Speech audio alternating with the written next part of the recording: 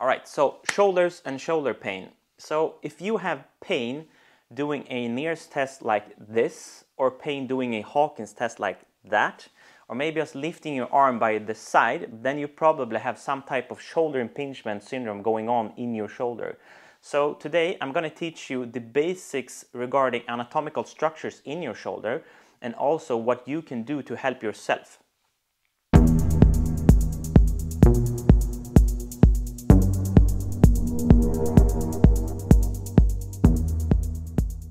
Welcome to Athletic Medicine. My name is Björn Hermansson and I am going to provide you with knowledge and information so you can help yourself building a powerful and pain-free body.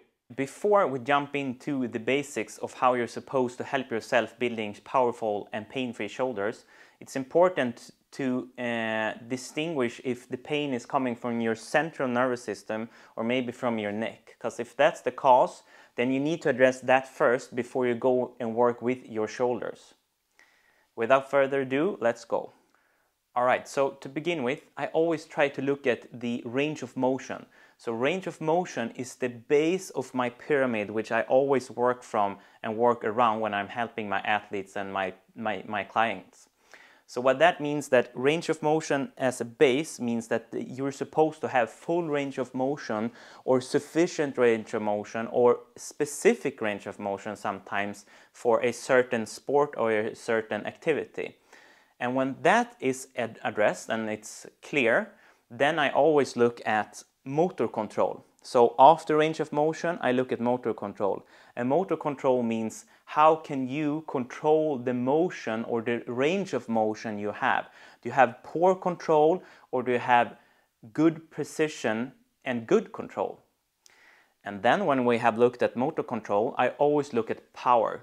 So do you have power? Can you deliver power within the range of motion with good motor control in the uh, motion that you're aiming to do? And then last but not least, I look at skill, and that's the one I have on the top of my pyramid. But this is something that is more specific, so we're not going to go into it today. But that's my pyramid. So uh, range of motion, motor control, power, and skill on the top. Let's go into the specifics and the anatomical structure and knowledge that you should have about your shoulders to begin with. So let's bring Benji closer. All right, so when we now have Benji closer, I can teach you more about the anatomical uh, knowledge that I think is uh, basic for you to have to help yourself and have more knowledge on, on what, what you're supposed to do and what's impacting what in the shoulder. So I think we should start with the deeper muscles called the rotator cuff muscle, which, which are a, a group of muscles that sits deep into the shoulder blade and has its contact point to your humerus head and it's four muscle and four muscles and the first one is called supraspinatus.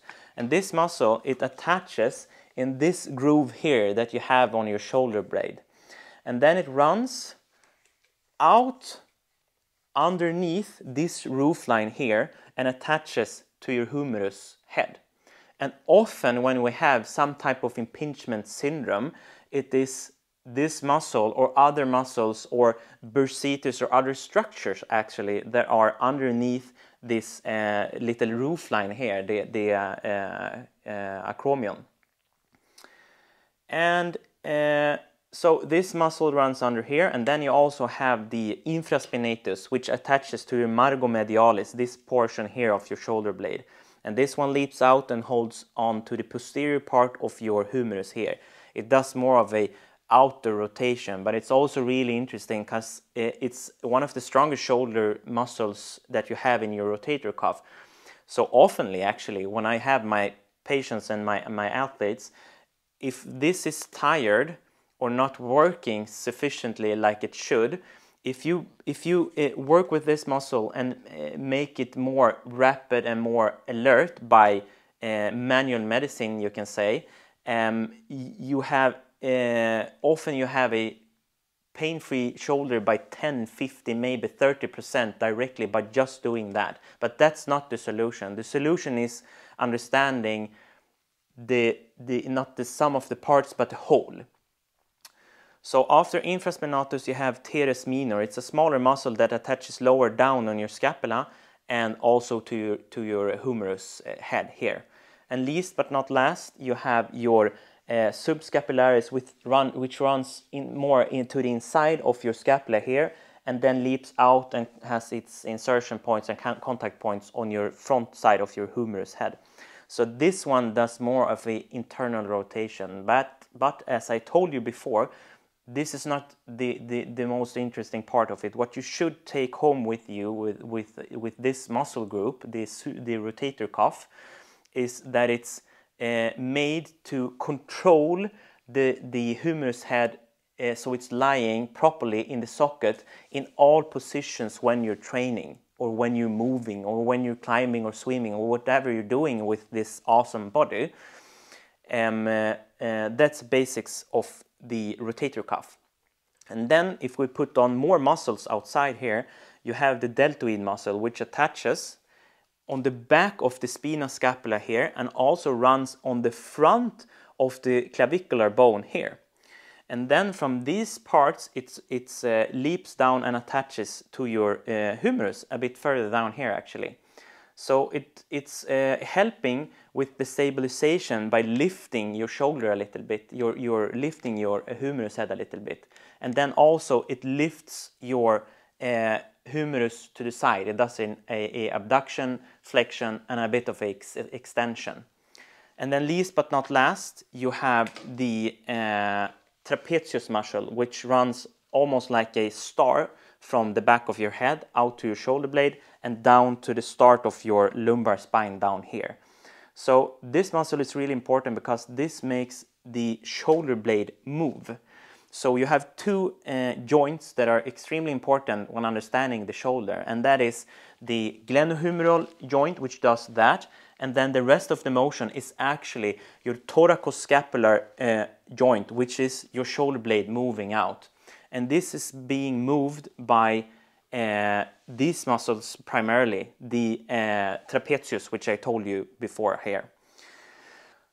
All right, so with this knowledge that you have now regarding the shoulder anatomically, we can go back to the pyramid, which I already taught you. So the first thing that you should address is the range of motion, if you, rem you remember.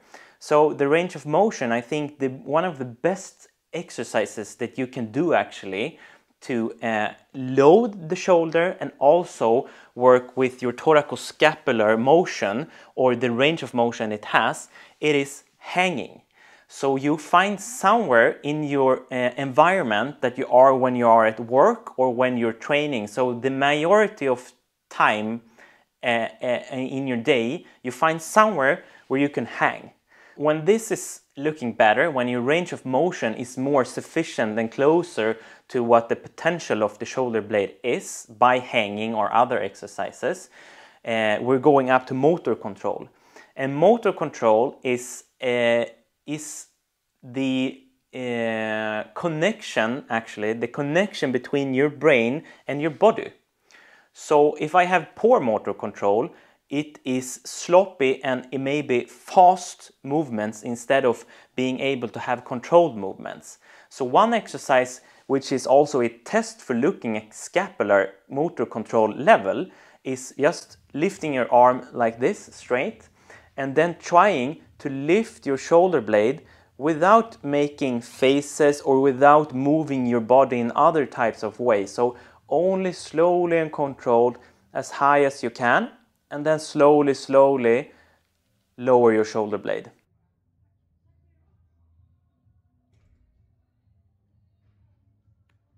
Can show you from behind.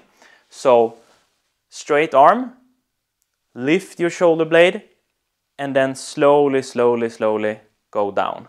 So this is a test and it's also a motor control exercise for your shoulder blade. So uh, ideally, you should do these motor controls exercises. If you look at studies actually, they have seen that if you do it every second hour that you are awake on a whole day, you do five repetitions uh, and about five seconds per repetition. So that means that I'm lifting my shoulder, my arm, lifting it up slowly and then slowly down. that, that's one repetition. You do five of these and the amount of time could be up to five seconds. And then you rest. And then two hours later, you do it again. So that's one motor control exercise that I think is great for you to do to control your, your shoulder blade. And then you have a motor control uh, exercise which is more aimed for the rotator cuff as I taught you about anatomical structures before. And this one, uh, you should do it lying, but I'm gonna show you standing up here just for the convenience sake of it. So if you do it standing up, you're starting with your arm in a full inner rotation, not forced with your shoulder blade in a bad position. So shoulder blade in a neutral position like this, arm up to about 90 degrees, you can have it a little bit lower if you want to, and from here work with the range of motion and controlling your motor control. So what that is, is doing a auto rotation of the humerus. So what I'm doing now is doing it as slowly and as controlled as possible. And hopefully you can see I'm trying to locate my hand and my wrist because if, if it's moving rapidly or in a bad motion, you can see it hacking or lagging. So optimally, you would like to see it smooth and you would do it without hesitation or without pain and you feel in contact with the motion that you're trying to do. If you have pain and if you have bad control over it, you will feel uh, you will feel that you are not doing it smooth and you will see that it's not smooth in motion when you're doing it. So the same for this motor control exercises. You do it uh, every second hour uh, that you're awake and you do it for uh, one to two weeks and everything of this depends on which level you are at but when this is sufficient we're going up and looking at power all right so when looking at power uh, I think one good thing is to try to uh, have a conjunction between motor control and power. And one exercise for that is, as I call it on Swedish, peklek, and that in English is point play.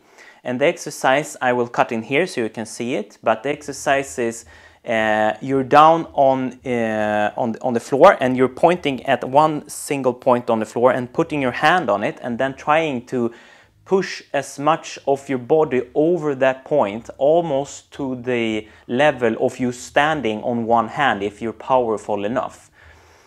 So that is one of the, the exercises where I try to combine uh, motor control and power together. And then when I'm totally in power and working with just power, when I have sufficient of range of motion, good motor control, and only power is what is the aim to start to, to keep on building on my pyramid. Uh, I do things that I like to do or that is convenient for me to do in everyday activities or every weekly activities. And right now, for me, it's uh, uh, strength training. So, so uh, exercises where you use your shoulder blade in as many motions and angle as possible. So that could be uh, bench presses, shoulder presses, rows, pull downs, different type of heavy exercises where you are uh, trying to push and load your joint and your muscles. Because if you have the pyramid stable before, if you have range of motion, motor control, these all uh, parts will be uh, nurtured and given energy and given uh, functioning and sustain their function if you train them. So another thing that is important to know and to, to think is, uh, is what I used to say is uh, if you don't use it, you will lose it. All right. So keep holding this pyramid alive by doing something that you love to do with your body. If it's swimming, if it's climbing, if it's something that hopefully uh, is uh, engaging as much range of motion in your shoulders and with uh, power, load. All right, boys and girls, I hope that you have uh, gained more knowledge regarding your shoulders and this has been helpful. So if you enjoyed it, please don't forget to give it a thumbs up and subscribe so uh, we can meet in the next movie where I show you more about your own body and what you can do to help yourself building a powerful and, and uh, pain-free body. Cheers, bye!